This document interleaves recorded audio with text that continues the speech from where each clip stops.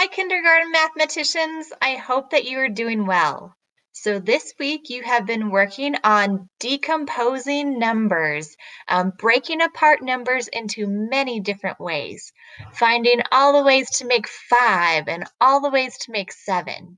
So today we're going to decompose or break apart two-digit numbers into the tens and the ones. So take a look at the screen. We are breaking apart the number 34 into the tens, 30, and into the ones, 4. All right, so let's get started. So your job is to decompose, so break apart the number into the tens and ones. Take a look at my 10 frames.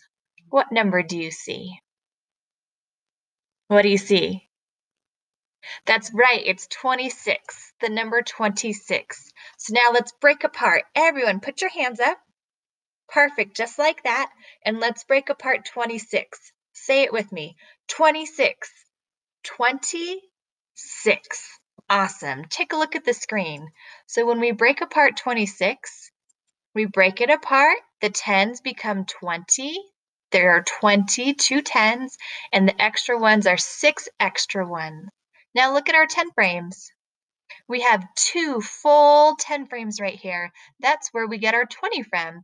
10, 20, and then our 6 comes from our 6 extra ones. All right, let's try another one. We have the number 43. Put your hands up, just like this. Say it with me. 43, 40, and 3. Here we go. Break apart 43 you have 40 and 3. So the 10s are 40 and the 1s are 3 extra ones. And you can see that with our 10 frames. 4 full 10s, that's 40, and 3 extra ones. Okay, now we're going to try a few without the 10 frames. Put your hands up. Great, do it with me. 38, 30, and 8. Let's take a peek. There it is. Our 3 becomes a 30 because it's in the tens place. All right, here's another one. Put your hands up. 57, 50 and 7.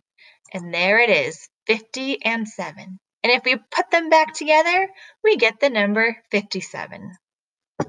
Say it with me. 95, 90, and 5. Great job.